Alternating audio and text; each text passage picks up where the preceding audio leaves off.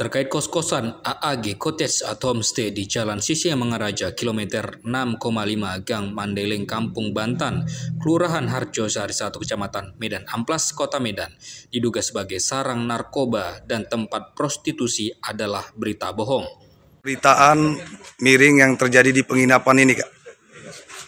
Kami selaku eh, pengelola kos AAG Kos membantah eh, yang beredar di sosial media.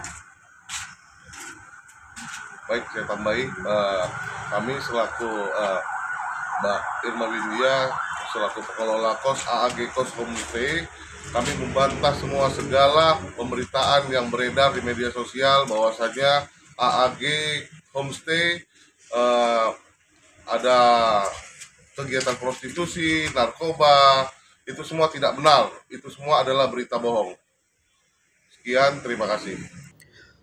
Menurut penasihat hukum AAG Cottage Homestay, Herbert Sidahuruk SH, didampingi Boy Depari SH, M. Syafri Sembiring SH, dan pengelola kos-kosan Irma mengatakan, pemberitaan AAG Cottage Homestay tidak ada menyediakan tempat narkoba dan prostitusi. Bang, homestay ini sendiri sudah berapa tahun Bang berdiri, Bang? ini baru baru setahun baru setahun dan baru selesai juga dibangun ini.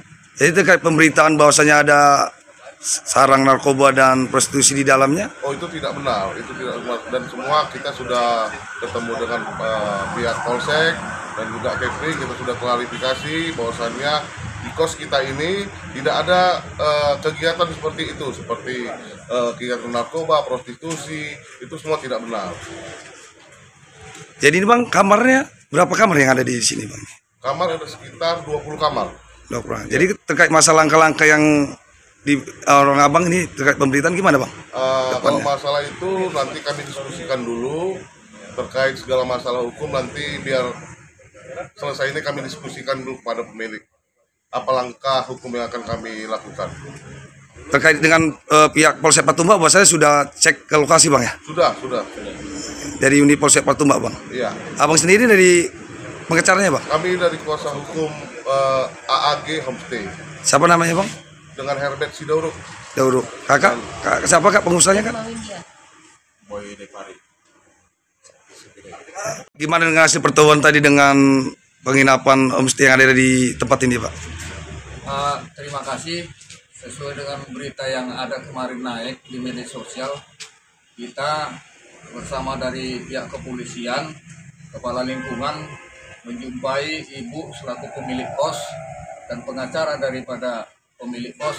Ternyata informasi itu tidak benar dan kita telah mencek setiap kamar itu gimana bentuknya. Ternyata tidak sesuai dengan apa yang dikatakan di media sosial yang terberita kemarin. Ini untuk ke depannya ini Pak terkait ini terus ada istilahnya rutinitas untuk menggelar ini Pak ke lokasi ini. Mudah-mudahan kita akan memerintahkan kepala lingkungan selaku perpanjangan tangan kita yang tepat kepada masyarakat untuk selalu mencek dan bekerja sama dengan ibu ini. Siapa aja tadi Pak yang hadir Pak untuk pertemuan tadi Pak?